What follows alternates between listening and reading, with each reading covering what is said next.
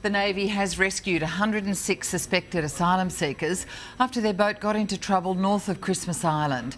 The Australian Maritime Safety Authority says two of the people rescued had minor injuries. A search and rescue operation was launched this morning after a call for help was made from someone on board the boat.